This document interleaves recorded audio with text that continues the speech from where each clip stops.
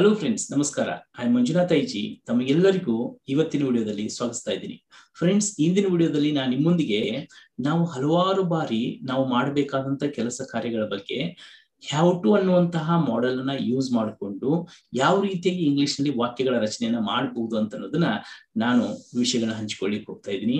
Because ಸಾಕಷ್ಟು ಬಾರಿ ನಾವು ಕನ್ನಡದಲ್ಲಿ ಮಾತನಾಡ್ತಾ ಇರ್ಬೇಕಾದ್ರೆ ನಾನು ಅಲ್ಲಿಗೆ ಹೋಗಬೇಕು, ಅವನನ್ನ ಕರೆಯಬೇಕು, ಅವಳು ಆ ಕೆಲಸ ಮಾಡಬೇಕು, ನಾನು ಇದನ್ನ ಮಾಡಬೇಕು, ಅವರು ಅದನ್ನ ಮಾಡಬೇಕು ಅಂತಂದು ಈ ಮಾಡಬೇಕು ಅಂದ್ರೆ ಈ ಕೆಲಸ ಮಾಡುವಂತಹ ಒಂದು ಅವಶ್ಯಕತೆ ಇದೆ ಅನ್ನುವಂತಹ ಅರ್ಥದಲ್ಲಿ ಅನೇಕ ವಾಕ್ಯಗಳನ್ನ ಮಾತಾಡ್ತಾ ಇರ್ತೀವಿ ಅಲ್ವಾ?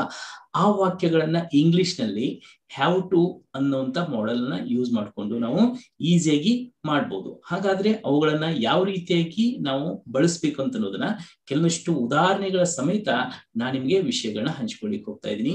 ವೆಲ್ ಫ್ರೆಂಡ್ಸ್ ಹಾಗಾದ್ರೆ ಆ ವಿಷಯಗಳನ್ನ ಇವತ್ತು ನಿಮ್ಮೊಂದಿಗೆ ನಾನು ಹಂಚ್ಕೊಳ್ಳೋಕ್ಕಿಂತ ಮುಂಚೆ ಇನ್ ಕೇಸ್ ನೀವೇನಾದ್ರೂ ನನ್ನ ಯೂಟ್ಯೂಬ್ ಚಾನಲ್ಗೆ ಹೊಸಬರಾಗಿದ್ರೆ ನಾನು ನಿಮ್ಗೆ ರೆಕಮೆಂಡ್ ಮಾಡ್ತೀನಿ. ಈ ಒಂದು ಚಾನಲ್ ಅನ್ನ ಈಗಲೇ ಸಬ್ಸ್ಕ್ರೈಬ್ ಮಾಡಿ ಇಟ್ಕೊಳ್ಳಿ. ಮತ್ತು ಪಕ್ಕದಲ್ಲಿರುವಂತಹ ಬೆಲ್ ಬಟನ್ ಅನ್ನ ಆನ್ ಮಾಡಿ ಇಟ್ಕೊಳ್ಳಿ. ಮತ್ತು ಈ ವಿಡಿಯೋ ನಿಮಗೆ ಇಷ್ಟ ಆಗ್ತಾ ಇದ್ರೆ ಈಗಲೇ ಇದನ್ನ ಲೈಕ್ ಮಾಡಿ. Well friends then let's get started well friends ಹಾಗಾದ್ರೆ ಈಗ ಹ್ಯಾವ್ ಟು ಮತ್ತು ಹ್ಯಾಸ್ ಟುಗಳನ್ನ ಬಳಸಿಕೊಂಡು ಯಾವ ರೀತಿಯಾಗಿ ನಾವು ನಾವು ಮಾಡಬೇಕಾದಂತ ಕೆಲಸ ಕಾರ್ಯಗಳ ಬಗ್ಗೆ ಮಾತನಾಡ್ಬೋದು ಅನ್ನೋದನ್ನ ಕೆಲವೊಂದಿಷ್ಟು ಎಕ್ಸಾಂಪಲ್ಸ್ ಗಳೊಂದಿಗೆ ತಿಳ್ಕೊಳ್ಳೋಣ. ಬಟ್ ಅದಕ್ಕಿಂತ ಮುಂಚೆ ಇಲ್ಲಿ ಹ್ಯಾವ್ ಟು ಎಲ್ಲಿ ಯೂಸ್ ಮಾಡಬೇಕು ಹ್ಯಾಸ್ ಟಿ ಹ್ಯಾಸ್ ಟು ನ ಎಲ್ಲಿ ಯೂಸ್ ಮಾಡಬೇಕು. ಅದನ್ನ ತಿಳ್ಕೊಳ್ಬೇಕಾಗಿದ್ದು ತುಂಬಾ ಇಂಪಾರ್ಟೆಂಟ್ ಆಗುತ್ತೆ. ಫ್ರೆಂಡ್ಸ್ ಇಲ್ಲಿ ಹ್ಯಾವ್ ಟು ಮತ್ತು ಹ್ಯಾಸ್ ಟು ಇಲ್ಲಿ ಹ್ಯಾವ್ ಟು ಅಂತ ಅನ್ನೋದನ್ನ ನಾವು ಆ, ಯು ವಿ ಮತ್ತು ದೇಗಳಿಗೆ ಬಳಸ್ಬೇಕಾಗತ್ತೆ. ಹ್ಯಾಸ್ ಟು ಅಂತ ಅನ್ನೋದನ್ನ ಹಿ ಸಿ ಇಟ್ಟಿದ್ದಾಗ ನಾವು ಬಳಸ್ಬೇಕಾಗತ್ತೆ. ಆ, ನೋಡಿ ಈಗ I have to you have to we have to they have to ಅದೇ ರೀತಿ ಹಿ ಸೀಟ್ ಬಂದಾಗ he has to she has to ಮತ್ತು ಇಟ್ ಹ್ಯಾಸ್ ಟು ಅಂತಂದು ನಾವು ಅನ್ಬೇಕಾಗತ್ತೆ. ವೆಲ್ ಹಾಗಾದ್ರೆ ಈಗ ಕೆಲವು ವಾಕ್ಯಗಳನ್ನು ನೋಡೋಣ. ನೋಡಿ, ನೀನು ಇಂಗ್ಲಿಷ್ನ ಕಲಿಯಬೇಕು. ಈಗಿದು ವಾಕ್ಯ ಇದೆ. ಅಂದ್ರೆ ಯಾರಿಗೆ ಒಬ್ಬರಿಗೆ ಈಗ ಇಂಗ್ಲಿಷ್ ಬರ್ತಾ ಇಲ್ಲ, ಈ ಒಂದು ಟೈಮ್ ಅನ್ನ ಇಂಗ್ಲಿಷ್ ಕಲಿಕೆಯಲ್ಲಿ ಯೂಸ್ ಮಾಡ್ಕೊ ಇಂಗ್ಲಿಷ್ನ ಕಲಿ ಅಂತ ಹೇಳ್ಬೇಕಾದಾಗ ನೀನು ಇಂಗ್ಲಿಷ್ ಕಲಿಯಬೇಕು ಅಂದ್ರೆ ಇದ್ರ ಅರ್ಥ ಏನಿಲ್ಲಿ ಆ ಕಲಿಯುವಂತ ಒಂದು ಅವಶ್ಯಕತೆ ಇದೆ ಅಂತಂತಂದು ಇಲ್ಲಿ ಗೊತ್ತಾಗ್ತಾ ಇದೆ. ಸೊ ಇದನ್ನ ಇಂಗ್ಲಿಷ್ನಲ್ಲಿ ಹೇಳಬೇಕಾದ್ರೆ you have to learn English you have to learn English ಈಗ ಅದೇ ರೀತಿ ನೋಡಿ, ನಾನು ಅವನಿಗೆ ಸಹಾಯ ಮಾಡಬೇಕು. ಈಗ ಲಾಕ್ಡೌನ್ ಇಂದಾಗಿ ಕೆಲಸ ಇಲ್ಲ. ಅದಕ್ಕೋಸ್ಕರ ನಿಮ್ಮ ನೇಬರ್ ಒಬ್ರು ಅವ್ರಿಗೆ ತುಂಬಾ ಬಡತನ ಇದೆ. ಅದಕ್ಕೋಸ್ಕರ ಅವನಿಗೆ ಸಹಾಯ ಮಾಡ್ಬೇಕು ಅನ್ನೋ ಅರ್ಥದಲ್ಲಿ ನೀವು ಕನ್ನಡದಲ್ಲಿ ಮಾತನಾಡ್ಬೇಕಾದಾಗ, ಅದನ್ನ ಇಂಗ್ಲಿಷ್ನಲ್ಲಿ ಹೇಳ್ಬೇಕಾದಾಗ I have to help him I have to help him ಅದೇ ರೀತಿ ನಾವು ಅವರಿಗೆ ಸಹಾಯ ಮಾಡಬೇಕು. We have to help them ನಾವು ಬಡವರಿಗೆ ಸಹಾಯ ಮಾಡಬೇಕು. We have to help poor ಈ ರೀತಿಯಾಗಿ ನೀವು ಸೆಂಟೆನ್ಸ್ ಮಾಡಬಹುದು ಇನ್ ನೆಕ್ಸ್ಟ್ ಸೆಂಟೆನ್ಸ್ ನೋಡಿ, ನಾನು ನಾಯಿಗೆ ಆಹಾರವನ್ನ ಹಾಕಬೇಕು. ಫ್ರೆಂಡ್ಸ್ ಈಗ ನಿಮ್ಮ ಮನೆಯಲ್ಲಿ ನೀವು ಕೂತಿದ್ದೀರಿ. ಅವಾಗ ನಿಮ್ಮೊಬ್ಬ ಫ್ರೆಂಡ್ ಬಂದು ಅವನು ಎಲ್ಲಿಗೆ ಹೋಗ್ತಾ ಇದ್ದಾನೆ, ಅವನು ನಿಮ್ಮನ್ನು ಕರಿತಾ ಇದ್ದಾನೆ. ಬಾರಪ್ಪ, ಒಂಚೂರು ಇಲ್ಲೇ ಹೋಗಿ ಬರೋಣ ಅಂತಂತಂದು. ಆ, ಆಗ ನೀವೇಂತೀರಿ ಇಲ್ಲಪ್ಪ ನಾನು ನಾಯಿಗೆ ಆಹಾರವನ್ನು ಹಾಕ್ಬೇಕಾಗಿದೆ ಅಂತಂದು ಹೇಳ್ತೀರಿ. ಆಗ, ಹ್ಮ್, ಆ ಸೆಂಟೆನ್ಸ್ನ I have to feed dog ನಾವು ಸೊ ಈ ಅರ್ಥದಲ್ಲಿ ನೀವು ಹೇಳ್ಬೋದು. ನೆಕ್ಸ್ಟ್ ನಾನು ಸೌಮ್ಯವಾಗಿ ಮಾತನಾಡಬೇಕು. ನನ್ನ ಕಮ್ಯುನಿಕೇಶನ್ ಇಂಪ್ರೂವ್ಮೆಂಟ್ ಮಾಡ್ಕೋಬೇಕಾಗಿದೆ. ನಾನು ಸೌಮ್ಯವಾಗಿ ಮಾತನಾಡಬೇಕು. ಅಂದ್ರೆ ಏರು ಧ್ವನಿಯಲ್ಲಿ ಮಾತನಾಡಬಾರ್ದು, ನಿಧಾನವಾಗಿ ಸೈಲೆಂಟ್ ಆಗಿ, ಚೆನ್ನಾಗಿ ಮಾತನಾಡಬೇಕು ಅನ್ನಲಿಕ್ಕೆ I have to speak politely I have to speak politely ಈ ಅರ್ಥದಲ್ಲಿ ನಾವು ಸೆಂಟೆನ್ಸ್ ಮಾಡ್ಬೋದು. ನೆಕ್ಸ್ಟ್ ಈಗ ನೋಡಿ, ಅವಳು ಈಗ ಹೋಗಬೇಕು. ಅಂದ್ರೆ ಅವಳಿಗೆ ಹೋಗುವಂತ ಒಂದು ಅವಶ್ಯಕತೆ ಇದೆ. ಸಿ ಹ್ಯಾಸ್ ಟು ಗೋ ನಾವ್ ಸಿ ಹ್ಯಾಸ್ ಟು ಗೋ ನಾವ್ ವೆಲ್ ಇಲ್ಲಿ ನೀವು ಮುಖ್ಯವಾಗಿ ನೆನಪು ಇಟ್ಕೊಳ್ಬೇಕಾಗಿದ್ದು, ನೀವು ವಾಕ್ಯ ರಚನೆಯನ್ನ ಮಾಡ್ತಾ ಇರ್ಬೇಕಾದಾಗ ಹ್ಯಾವ್ ಟು ಅಥವಾ ಹ್ಯಾಸ್ ಟು ಇವುಗಳ ಜೊತೆಗೆ ನೀವಲ್ಲಿ ವಿ ಒನ್ ಅನ್ನ ಯೂಸ್ ಮಾಡಬೇಕು. ಅಂದ್ರೆ ಹ್ಯಾವ್ ಟು ಆದ್ಮೇಲೆ ಕ್ರಿಯಾಪದದ ಮೊದಲನೆಯ ರೂಪವನ್ನು ನೀವು ಇಲ್ಲಿ ಯೂಸ್ ಮಾಡ್ಬೇಕಾಗತ್ತೆ ವಂಡರ್ಫುಲ್ ನೆಕ್ಸ್ಟ್ ಸೆಂಟೆನ್ಸ್ ನೋಡಿ. ನಾನು ಒಂಬತ್ತು ಮೂವತ್ತರ ಬಸ್ಸು ಹಿಡಿಯಬೇಕು. ಈಗ ನೀವು ಕೆಲಸಕ್ಕೆ ಹೋಗ್ತಾ ಇರ್ತೀರಿ, ಜಾಬಿಗೆ. ನಿಮ್ಮ ಒಂದು ಕೆಲಸ ಅಲ್ಲಿ ಹತ್ತು ಮೂವತ್ತಕ್ಕೆ ಸ್ಟಾರ್ಟ್ ಆಗತ್ತೆ ಅಂತಂದ್ರೆ ಒನ್ ಅವರ್ ಬೇಕಾಗಿರತ್ತೆ. ಅಲ್ಲಿ ನಾನು ಒಂಬತ್ತುವರೆ ಬಸ್ಸಿಗೆ ನಾನು ಹೋಗ್ಬೇಕು ಅಥವಾ ಹಿಡಿಬೇಕು ಅಂತ ರೀತಿಯಲ್ಲಿ ಹೇಳ್ಬೇಕಾದಾಗ, ಇದನ್ನ ಯಾವ ರೀತಿಯಾಗಿ ಮಾತಾಡ್ತೀನೋ I have to catch nine thirty bus I have to catch nine thirty bus ನಾನು ನಾಲ್ಕೂವರೆ ಬಸ್ ಅನ್ನ ಹಿಡಿಯಬೇಕು. I have to catch four thirty bus ನಾನು ಎಂಟರ್ ಬಸ್ಸಿಗೆ ಹೋಗ್ಬೇಕು. I have to go eight o'clock bus so ಈ ರೀತಿ ನಾವು ಸೆಂಟೆನ್ಸ್ ಗಳನ್ನ ಮಾಡ್ಬೋದು. ನೆಕ್ಸ್ಟ್ ನೋಡಿ, ನಾನು ಸ್ವಲ್ಪ ತರಕಾರಿಯನ್ನ ಕೊಳ್ಳಬೇಕು.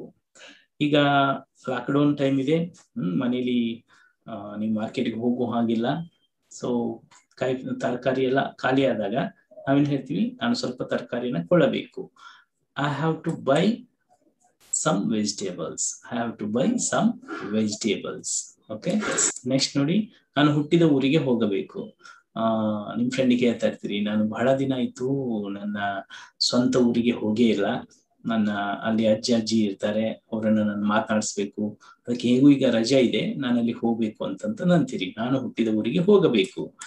So I have to go to my native place I have to go to my native place wonderful next ನೋಡಿ, ನಾನು ಮದುವೆ ಸಮಾರಂಭದಲ್ಲಿ ಪಾಲ್ಗೊಳ್ಳಬೇಕು. ಎಸ್ ಮದುವೆ ಸಮಾರಂಭದಲ್ಲಿ ಪಾಲ್ಗೊಳ್ಳಬೇಕು ಅಂತಂದಾಗ ಇಂಗ್ಲಿಷ್ನಲ್ಲಿ I have to attend marriage party I have to attend marriage party ಇವತ್ತೊಂದು ಮದುವೆ ಇದೆ, ನಾನು ಅದನ್ನೇ ಅಟೆಂಡ್ ಮಾಡಲೇಬೇಕು. I have to attend marriage party next ನೀನು ಇನ್ನೂ ಹೆಚ್ಚು ಅಭ್ಯಾಸ ಮಾಡಬೇಕು. ನಿಮ್ಮ ಮನೆಯಲ್ಲಿ ಆ, ಯಾರೋ ಒಬ್ರು ನಿಮ್ ಬ್ರದರ್ ಇದ್ದಾರೆ ಅಥವಾ ಸಿಸ್ಟರ್ ಇದ್ದಾರೆ, ಹ್ಮ್, ಅವ್ರಿಗೆ ನೀವು ಹೆಚ್ಚು ಸ್ಕೋರ್ ಮಾಡ್ಬೇಕು ಅಂತಂದ್ರೆ ಹೆಚ್ಚು ಅಭ್ಯಾಸ ಮಾಡ್ಬೇಕು ನೀನು ಇನ್ನು ಅಂತಂತಂದು ಹೇಳ್ತಾ ಇರ್ತೀರಿ. ಅದನ್ನೇ ಹೆಂಗ್ ಹೇಳ್ಬೋದು ನಾವು? You have to study more you have study hard ಈ ರೀತಿಯಲ್ಲಿ ನಾವು ಸೆಂಟೆನ್ಸ್ ಗಳನ್ನ ಮಾಡ್ಬೋದು. ವೆಲ್ ಸೊ ಇಲ್ಲಿ ನೀವು ನೆನಪು ಇಟ್ಕೊಳ್ಬೇಕಾಗಿದ್ದೇನು ಸಿಂಪಲ್ ಹ್ಯಾವ್ ಟು ಅಂತ ಅನ್ನೋದನ್ನ ಆ ಯು ವಿ ಹೇಗೆ ಯೂಸ್ ಮಾಡ್ಬೇಕು ಹಿ ಸಿ ಇಟ್ಟಿದ್ದಾಗ ಹ್ಯಾಸ್ ಟು ನ ಯೂಸ್ ಮಾಡ್ಬೇಕು. ನೆಕ್ಸ್ಟ್ ಬಂದ್ಬಿಟ್ಟು ನೋಡಿ, ನೀನು ಅವಳನ್ನು ಕೇಳಬೇಕು. ಹ್ಮ್? ಈಗ ಏನೋ ಒಂದು ಬೇರೆದವ್ರಿಗೆ ಕೇಳೋದಿರತ್ತೆ ನೀವು ಅವಳನ್ನ ನೀನೇ ಕೇಳಬೇಕು ಅಂತಂತಂದು ಹೇಳ್ಬೇಕಾದಾಗ you have to ask her you have to ask her ನೀನೇ ಅವಳನ್ನ ಕೇಳು. ನೆಕ್ಸ್ಟ್ ಈಗ ಯಾವುದೇ ಒಬ್ಬ ಸ್ಟೂಡೆಂಟು ಚೆನ್ನಾಗಿ ಅಭ್ಯಾಸ ಮಾಡ್ತಾ ಇಲ್ಲ, ಕಡಿಮೆ ಮಾರ್ಕಸ್ ಬರ್ತಾ ಇದೆ ಅವಾಗ ಆಸ್ ಎ ಟೀಚರ್ ಆಗಿ ನೀವು ಅವನಿಗೆ ಏನ್ ಹೇಳ್ತೀರಿ? ನೀನು ಕ್ಲಾಸ್ ಅನ್ನ ತಪ್ಪದೆ ಹಾಜರಾಗಬೇಕು. You have to attend class regularly so then you can score more marks in examination ಹೌದಾ? ಅದಕ್ಕೋಸ್ಕರ ಚೆನ್ನಾಗಿ ರೆಗ್ಯುಲರ್ ಆಗಿ ನೀನು ಕ್ಲಾಸಿಗೆ ಹಾಜರಾಗುವಂತ ಹೇಳಿಕೆ. You have to attend class regularly ಈ ರೀತಿಯಲ್ಲಿ ನಾವು ಹೇಳ್ಬೋದು. ನೆಕ್ಸ್ಟ್ ಅವನು ಕೆಲಸ ಮಾಡಬೇಕು. ಸೊ ಇಲ್ಲಿ ಅವನಲ್ಲಿಗೆ he has to work he has to work okay ಅವನು ಕೆಲಸ ಮಾಡಬೇಕು. ಹಿ ಹ್ಯಾಸ್ ಟು ವರ್ಕ್ ಅದೇ ರೀತಿ ನಾವು ಅವರನ್ನು ಆಮಂತ್ರಿಸಬೇಕು. ನಿಮ್ಮ ಮನೇಲಿ ಏನೋ ಒಂದು ಫಂಕ್ಷನ್ ಇಟ್ಕೊಂಡಿದ್ದೀರಿ. ಅವಾಗ ನೀವು ಒಂದು ಲಿಸ್ಟ್ ಮಾಡ್ತಾ ಇದ್ರಿ. ಯಾರನ್ನ ನಾವು ಆಮಂತ್ರಿಸಬೇಕು ಅಂತಂತಂದು. ಇಲ್ಲ, ನಾವು ಅವರನ್ನ ಆಮಂತ್ರಿಸಬೇಕು ಅಂತಂತಲಿಕ್ಕೆ we have to invite them ಅವ್ರನ್ನ ನಾವು ಆಮಂತ್ರಣ ಮಾಡ್ಬೇಕು. We have to invite them next ಅವರು ಈ ಪಂದ್ಯವನ್ನು ಗೆಲ್ಲಬೇಕು. ಎಸ್ ಈಗ ಇಂಡಿಯನ್ ಕ್ರಿಕೆಟರ್ಸ್ ಮ್ಯಾಚ್ ಆಡ್ತಾ ಇದ್ದಾರೆ. ಈಗ ಇಂಡಿಯಾ ಈ ಮ್ಯಾಚ್ನ ಗೆಲ್ಲೇಬೇಕು, ಅವ್ರು ಈ ಪಂದ್ಯನ ಗೆಲ್ಲಬೇಕು ಅನ್ನೋ ರೀತಿಯಲ್ಲಿ ನಾವು ಹೇಳ್ಬೇಕಾದಾಗ they have to win this match they have to win this match ಈ ರೀತಿಯಲ್ಲಿ ನಾವು ಹೇಳ್ಬೋದು. ವಂಡರ್ಫುಲ್ ಫ್ರೆಂಡ್ಸ್ ಸೊ ಇವೆಲ್ಲವೂ ಈಗ ಪ್ರೆಸೆಂಟ್ ಟೆನ್ಸ್ ಅಲ್ಲಿ ನಾವು ಯೂಸ್ ಮಾಡ್ಲಿಕ್ಕೆ ಹ್ಯಾವ್ ಟು ಮತ್ತು ಹ್ಯಾಶ್ನ ಯೂಸ್ ಮಾಡಿದ್ವಿ. ಅದೇ ರೀತಿ ನಾವು ಕೆಲವೊಮ್ಮೆ ಫಾಸ್ಟ್ ಟೆನ್ಸ್ ಅಲ್ಲಿನೂ ಸಹ ಇದನ್ನ ಯೂಸ್ ಮಾಡ್ಬೇಕಾಗತ್ತೆ. ಅವಾಗ ಹ್ಯಾವ್ ಟು ಮತ್ತು ಹ್ಯಾಶ್ ಟು ಇದ್ದಿದ್ದು ಏನಾಗುತ್ತೆ ಫ್ರೆಂಡ್ಸ್ ಹ್ಯಾಡ್ ಟು ಅಂತಂತ ಆಗುತ್ತೆ. ಈ ಹ್ಯಾಡ್ ಟು ಅಂತ ಅನ್ನೋದನ್ನ ನೀವು ಎಲ್ಲ ಪರ್ಸನ್ಸ್ ಗಳಿಗೆ ಯೂಸ್ ಮಾಡ್ಬೇಕಾಗತ್ತೆ. There is no confusion at all in present tense we should use have to for I you we and they and has to is used for he see it. But in fast tense, there is no confusion at all. There is only one that is had to ಅಂದ್ರೆ ಅಲ್ಲಿ had to ಮಾತ್ರ ಆಗಿರುತ್ತೆ. Had to ಅನ್ನೇ ನೀವು ಎಲ್ಲದಕ್ಕೂ ಬಳಸಬಹುದು ಹಾಗಾದ್ರೆ ಕನ್ನಡದಲ್ಲಿ ಯಾವ ರೀತಿ ನಾವು ಮಾತಾಡ್ಬೇಕು? ನೋಡ್ರಿ, ನಾನು ಅಲ್ಲಿಗೆ ಹೋಗಬೇಕು ಅನ್ಲಿಕ್ಕೆ ಐ ಹ್ಯಾವ್ ಟು ಗೋ ಈಗ present tense I have to go ಅಂದ್ರೇನು ನಾನು ಅಲ್ಲಿಗೆ ಹೋಗ್ಬೇಕು. ಈಗ ಹೋಗುವ ಅವಶ್ಯಕತೆ ಇದೆ. ನಾನು ಅಲ್ಲಿಗೆ ಹೋಗಬೇಕಾಗಿತ್ತು. ಅಂದ್ರೆ ಅಲ್ಲಿ ಹೋಗುವಂತ ಒಂದು ನೆಸೆಸಿಟಿ ನನಗಿತ್ತು. ಅನ್ಬೇಕಾದಾಗ ನಾನು ಏನ್ ಮಾಡ್ತೀನಿ ಅವಾಗ ಐ ಹ್ಯಾವ್ ಟು ಬದಲಾಗಿ ಏನ್ ಯೂಸ್ ಮಾಡ್ಬೇಕು? I had to go there ಅಂದ್ರೆ ನಾನು ಅಲ್ಲಿಗೆ ಹೋಗಬೇಕಾಗಿತ್ತು. ಸಿಂಪಲ್ ಇಲ್ಲಿ ಹ್ಯಾವ್ ಟು ನ ತೆಗೆದ್ಬಿಟ್ಟು ನಾವು ಹ್ಯಾಡ್ ಟು ನ ನಾವು ಯೂಸ್ ಮಾಡ್ಬೇಕಾಗತ್ತೆ. ನೆಕ್ಸ್ಟ್ ನಾನು ಕಾಯಬೇಕಾಗಿತ್ತು. ಅಂದ್ರೆ, ಆ, ನನಗೆ ಕಾಯುವಂತ ನೆಸೆಸಿಟಿ ಇತ್ತಲ್ಲಿ. ನೀವ್ ಎಲ್ಲಿಗೋ ಹೋಗಿರ್ತೀರಿ. ಆ, ನೀವು ಬೇಗ ಬರಲ್ಲ. ಅವಾಗ ನಿಮ್ ಫ್ರೆಂಡ್ಸ್ ಅಂತಾರೆ ಯಾಕೋ ನೀನು ಬೇಗ ಬರ್ಲಿಲ್ಲ? ಇಲ್ಲಪ್ಪ, ನಾನು ಅಲ್ಲಿ ಕಾಯ್ಬೇಕಾಗಿತ್ತು.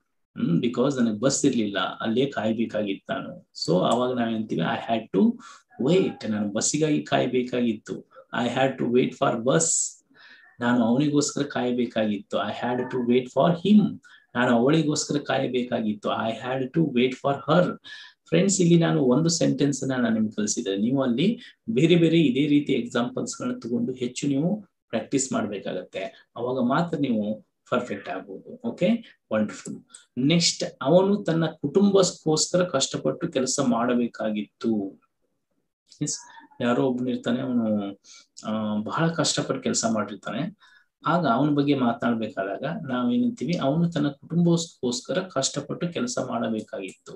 He had to work hard for his family he had to work hard for his family S ಇನ್ನು ನೆಕ್ಸ್ಟ್ ನೋಡಿ, ಅವಳು ತನ್ನ ವಿದ್ಯಾಭ್ಯಾಸವನ್ನ ನಿಲ್ಲಿಸಬೇಕಾಗಿತ್ತು. ನಿಮ್ಮ ಒಬ್ಬ ಕ್ಲಾಸ್ಮೇಟ್ ಇರ್ತಾಳೆ, ಆಕೆ ಯಾವುದೋ ಕಾರಣಕ್ಕೆ ಕಾಲೇಜ್ಗೆ ಬರೋದನ್ನ ನಿಲ್ಲಿಸ್ಬಿಟ್ಟಿರ್ತಾಳೆ. ಅವಾಗ ನೀವು ನಿಮ್ಮ ಇನ್ನೊಬ್ಬ ಫ್ರೆಂಡಿಗೆ ಕೇಳ್ತೀರಿ, ಆ, ಈಕೆ ಏನಾಯ್ತು? ಆಕೆ ಬರ್ತಾ ಇಲ್ಲ ಕಾಲೇಜ್ಗೆ ಅಂತಂತಂದು. ಆಗ ನೀವಂತೀರಿ, ಇಲ್ಲ, ಆಕೆ ಸ್ವಲ್ಪ ಪ್ರಾಬ್ಲಮ್ ಇದ್ದಿದ್ರಿಂದ ಅವಳ ಮನೆಯಲ್ಲಿ ತನ್ನ ಸ್ಟಡೀಸ್ ಅನ್ನ ನಿಲ್ಲಿಸ್ಬೇಕಾಗಿತ್ತು. ಈ ಅರ್ಥದಲ್ಲಿ ಹೇಳ್ತಾರೆ. ಆಗ ಅದನ್ನ ನಾವು ಮಾತಾಡ್ಬೇಕಾದಾಗ she had to discontinue her study she had to discontinue her study ಈ ರೀತಿ ನಾವು ಅಲ್ಲಿ ಮಾತಾಡ್ಬೋದು. ವೆಲ್ ಅಂಡ್ ನೆಕ್ಸ್ಟ್ ನೋಡಿ ನಾವು ಸಭೆಗೆ ಹಾಜರಾಗಬೇಕಾಗಿತ್ತು. ಎಸ್ ನೀವು ಮನೆಗೆ ಒಂಚೂರು ಲೇಟ್ ಆಗಿ ಬರ್ತೀರಿ. ಯಾಕೆ ಲೇಟ್ ಆಯ್ತು ಅಂತ ಕೇಳಿದಾಗ, ಇಲ್ಲ ನಮ್ದೊಂದು ಮೀಟಿಂಗ್ ಇತ್ತು. ಅದಕ್ಕೆ ನಾವು ಹಾಜರಾಗಬೇಕಾಗಿತ್ತು ಅಂತಂದು ಹೇಳ್ತೀರಿ ನೀವು. ಅದನ್ನೇ ಇಂಗ್ಲಿಷ್ ಅಲ್ಲಿ ಹೇಳ್ಬೇಕಾದಾಗ we had to attend meeting ಈ ರೀತಿ ನಾವು ಮಾತಾಡ್ಬೋದು. ಫ್ರೆಂಡ್ಸ್ ಇಲ್ಲಿ ನಾವು ಮುಖ್ಯವಾಗಿ ತಿಳ್ಕೊಳ್ಬೇಕಾಗಿದ್ದೇನು ಪ್ರೆಸೆಂಟ್ ಟೆನ್ಸ್ ಇದ್ರೆ ಹ್ಯಾವ್ ಟು ಮತ್ತು ಹ್ಯಾಶ್ ಟು ನ ಯೂಸ್ ಮಾಡಬೇಕು. ಫಾಸ್ಟ್ ಟೆನ್ಸ್ ಇದ್ದಾಗ ನಾವು ಹ್ಯಾಡ್ ಟು ನ ಯೂಸ್ ಮಾಡಿ ವಾಕ್ಯಗಳನ್ನ ನಾವು ಮಾಡ್ಬೋದು. ಈಗ ನೋಡಿ ಆ ನಾನು ಆ ಕೆಲಸ ಮಾಡಬೇಕಾಗಿತ್ತು. I had to do that work ನಾನು ಚೆನ್ನಾಗಿ ಓದಬೇಕಾಗಿತ್ತು. I had to read well or I had to study well ನೀವು ಅಲ್ಲಿಗೆ ಹೋಗಬೇಕಾಗಿತ್ತು. You had to go there ಅವರು ಇಲ್ಲಿಗೆ ಬರಬೇಕಾಗಿತ್ತು. They had to come here S ಅವನು ಆ ಕೆಲಸವನ್ನ ಮುಗಿಸಬೇಕಾಗಿತ್ತು. He had to finish that work ಈ ರೀತಿ ಹ್ಯಾಡ್ ಟು ನ ಯೂಸ್ ಮಾಡಿ ನೀವು ಫಾಸ್ಟ್ ಟೆನ್ಸ್ ಅಲ್ಲಿನೂ ಸಹ ವಾಕ್ಯಗಳನ್ನ ಮಾಡಬಹುದು ವೆಲ್ ಫ್ರೆಂಡ್ಸ್ ಹಾಗಾದ್ರೆ ತಮಗೆಲ್ಲರಿಗೂ ಈ ಒಂದು ವಿಡಿಯೋ ಅರ್ಥ ಆಯ್ತಲ್ವಾ? ನಾವು ಮಾಡಬೇಕಾದಂತ ಕೆಲಸ ಕಾರ್ಯಗಳನ್ನ ನಾವು ಇಂಗ್ಲಿಷ್ ಅಲ್ಲಿ ಮಾತನಾಡಬೇಕಾದಾಗ ನನಗೆ ಇದರ ನೆಸೆಸಿಟಿ ಇದೆ ಅಂತ ಅನ್ನುವಂಥ ಸಂದರ್ಭದಲ್ಲಿ ಟು ನ ಯೂಸ್ ಮಾಡಿಕೊಂಡು ಇದೇ ರೀತಿ ವಾಕ್ಯಗಳನ್ನ ಮಾಡಿಕೊಂಡು ನೀವು ಪರ್ಫೆಕ್ಟ್ ಆಗಲಿ ಅಂತ ಹೇಳ್ತಾ ವೆಲ್ ಹಾಗಾದ್ರೆ ಈ ಒಂದು ವಿಡಿಯೋ ನಿಮ್ಗೆ ಹೇಗೆ ಅನಿಸ್ತು ಅಂತ ಅನ್ನೋದನ್ನ ಕೆಳಗಡೆ ಕಾಮೆಂಟ್ ಬಾಕ್ಸ್ ಅನ್ನು ಕಾಮೆಂಟ್ ಮಾಡಿ ತಿಳಿಸಿ. ಮತ್ತು ಈ ವಿಡಿಯೋ ನಿಮ್ಗೆ ಇಷ್ಟ ಆಗಿದ್ರೆ ಇದನ್ನ ತಪ್ಪದೆ ಲೈಕ್ ಮಾಡಿ, ನಿಮ್ಮ ಆಪ್ತ ಮಿತ್ರರಿಗೆ ಶೇರ್ ಮಾಡಿ ಅಂತ ಹೇಳ್ತಾ. Well friends with this I am going to end this video let's meet you in the next video till then, bye, see you. Thank you very much and god bless all